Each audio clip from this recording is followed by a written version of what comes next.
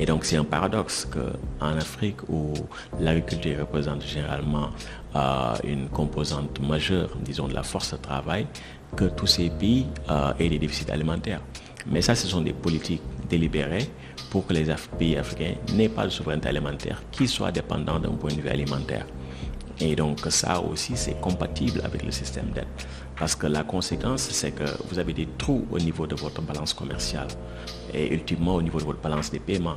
C'est-à-dire que vous avez un déficit, vous importez des produits alimentaires. Et donc vous devez trouver euh, l'argent, vous devez trouver les devises pour importer ces produits alimentaires-là. Et donc, euh, parfois, si vous n'avez pas assez de recettes d'exportation, il vous faut vous endetter. Et si vous vous endettez auprès des institutions financières internationales, elles vont vous soumettre à des conditionnalités qui font que votre problème ne va pas être résolu. Parce que ce n'est pas le but du FMI ou de la Banque mondiale de résoudre les problèmes de développement. Leur euh, perspective, c'est comment créer des opportunités d'investissement lucratifs pour, disons, les monopoles des pays du Nord. C'est ça le rôle du FMI et de la Banque mondiale. Et donc, euh, ils peuvent euh, aider temporairement les pays euh, qui ont des difficultés de balance de paiement, etc.